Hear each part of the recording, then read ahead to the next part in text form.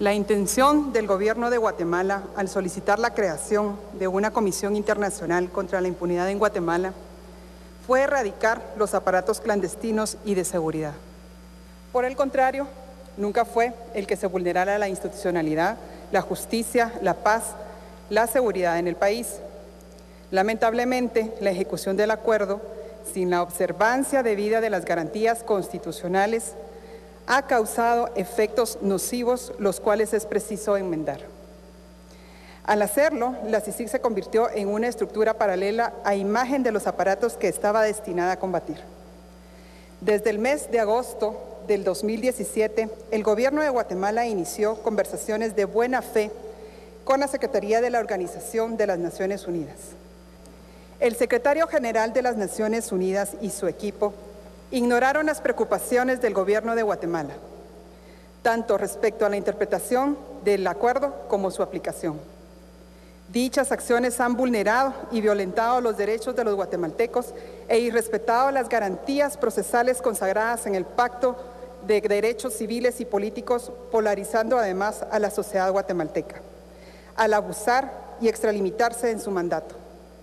La intromisión en los asuntos internos del país la manipulación de la justicia que atenta contra la presunción de inocencia y el debido proceso se han convertido en el modus operandi de la CICIG en Guatemala. Un acto claro de intromisión en asuntos internos que no le competen al mandato de la CICIG. El señor Iván Velázquez ha presionado al Congreso de la República para hacer reformas a la Constitución Política de la República y enmiendas a leyes ordinarias del país. Además, el abuso de la mediatización de los casos ante la opinión pública, donde se llegó incluso a intimidar, a aterrorizar a la ciudadanía. Es también un exceso en las funciones de dicha comisión, violentando el principio de presunción de inocencia. Vale la pena recordar el allanamiento de la CICIG en Casa Presidencial como uno de los más preocupantes y sobre el cual existe un video que describe la forma violenta en que se efectuó dicho allanamiento. También se ha solicitado al secretario general de las Naciones Unidas que haga cumplir con responsabilidad que tiene la CICIC de trasladar sus capacidades a las instituciones nacionales y fortalecerlas.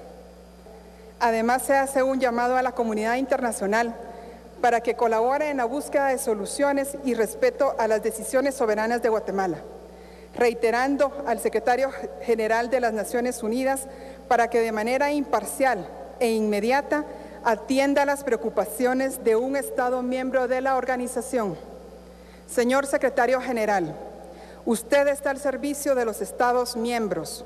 Es inaceptable y contrario a los propósitos de las Naciones Unidas que pretenda constituirse en una instancia supranacional que dicte a los gobiernos cómo ejercer sus atribuciones que electoralmente le han delegado sus ciudadanos. Hacerlo vulnera la soberanía de los estados.